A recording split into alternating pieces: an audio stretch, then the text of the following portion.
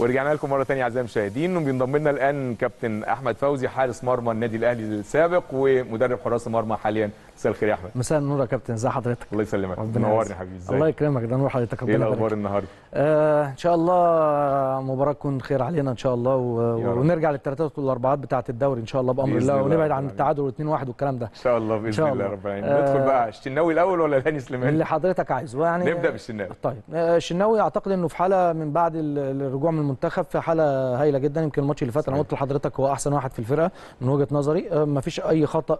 آه، ولما حضرتك قلت لي تقييم قلت لك 9.5 من 10 صحيح. وال10 دي ما حدش بياخدها يعني كمال لله سبحانه وتعالى. صحيح. إنما آه، هو أحسن واحد طب في الفرقة. خليني أسألك سؤال سريع بس. اتفضل اتفضل. في الفترة دي فترة مضغوطة جدا ماتشات كتير جدا ماتشات دولية وبعدين ماتشات محلية وفترات الراحة قريبة جدا من بعض فمفيش فترات راحة تقريبا. تمام. يعني فترات الراحة بتتكلم عن يومين تخش على ماتش تالت. تمام. هل حارس المرمى زي اللعيب اللي جوه الملعب محتاج برضو إن هو يبقى فيه. تدوير محتاج راحات لازم.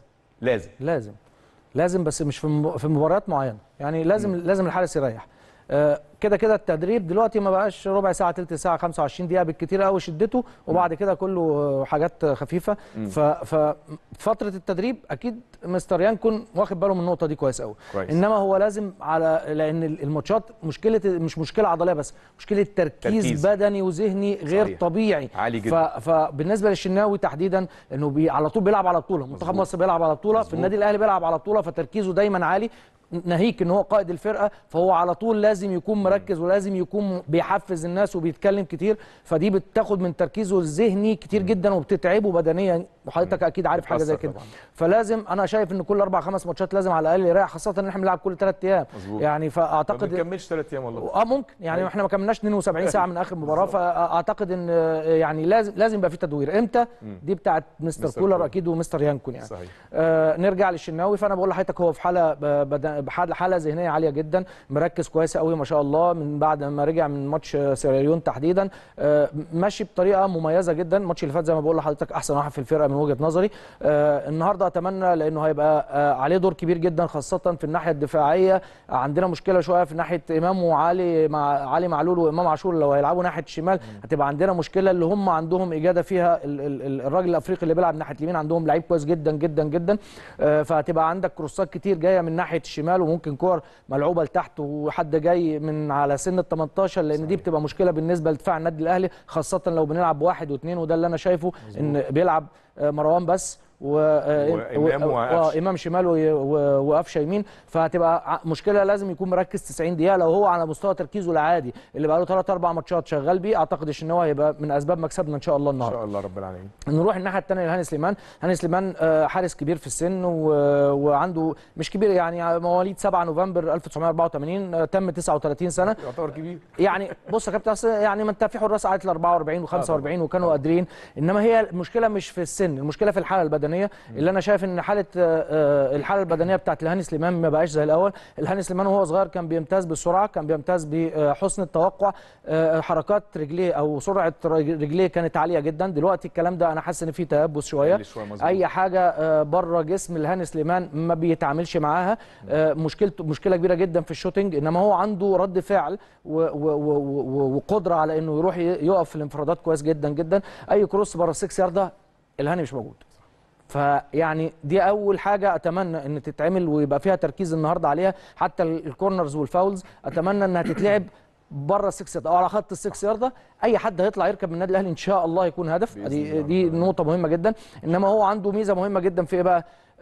في في خلينا في الناحية الدفاعية الأول. آه، فزي ما بقول لحضرتك آه، آه، بيعرف يتعامل كويس جدا مع ال ال الانفرادات وبيعرف يتعامل مع آه، رد الفعل في المساحات الضيقة. إنما الشوتنج من بره وخاصة على الأرض هيبقى فيه مشكلة كبيرة ليه. آه، أتمنى أي حد رايح له انفراد ما تحاولش تعلق فوق حط على الأرض جنب رجليه لأن هو ما بقاش فيه مرونة زي الأول. يعني دي مثلا لو شفناها من. ورا دي لو شفنا الجون ده لو اتعاد في في إعادة من ورا. لو هاني سليمان صغير 3 4 سنين كان طلعها بالعكسيه سهله جدا. مظبوط. إنما هو عشان خاطر زي ما بقول لحضرتك أي حاجة بعيدة عن جسمه ما بقاش يترمي. فأنا شايف إن دي في في قاعدة من ورا. بس يعني مش عارف هتيجي ولا لا. أكيد هتيجي. بص هو واقف في حتة طبعا غلط. إنما حتى لما فرق جسم ما رضيش يفرد جسمه وراح خطوة وكسل زي ما بيقولوا. من هنا بقى. بص يا كابتن دي. الكرة قريبه آه، الكرة قريبة. آه. لو طار وطلع العكسية هيلمس. بس الحمد لله إنه ما طارش. فيعني هي دي اللي أنا بقولها. أي حد يقرب من من من, من الهاني يحط جنب رجليه جامد صح. ما يح- ما يحاولش يبعد الكورة. بس المهم تبقى بعيد عنه يرضى صح. ما انما لو بعدت عنه ممكن بجسمه من فوق يطلع.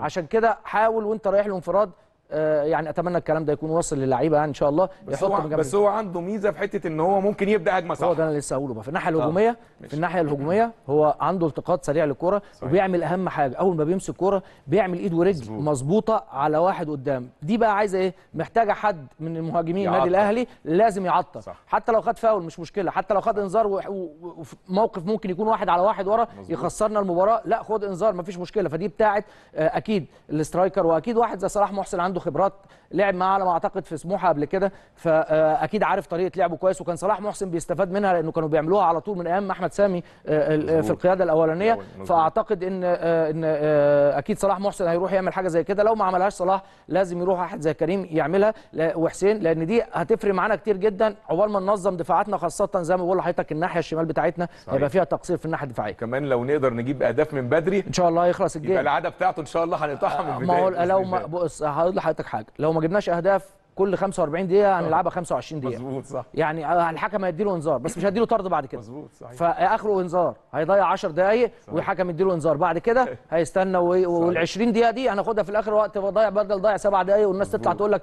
ده الأهلي بيجيب في الدقيقة 97 عشان كده نتمنى نتمنى من الله إن شاء الله إن إحنا نجيب بدري. لما نجيب بدري هو بيبقى متوتر خلي بالك كشخص. مظبوط. هو بر... هو هادي. يعني هادي يعني أعلى من الهادي شوية مش عايزين أيوة. نقول حاجة كلمة أيوة. واحدة أيوة. فلو إحنا ما صربعناهوش أيوه هيتعبنا صحيح فنتمنى إن شاء الله إن إحنا نخلص بدري وإن شاء الله بعد المباراة أقول لك إن شاء الله زي كل مرة اللي بيحصل بامر بإذن الله، حبيبي يا كابتن. ربنا يعزك شكراً- شكراً جزيلاً شكرا لك يا. كابتن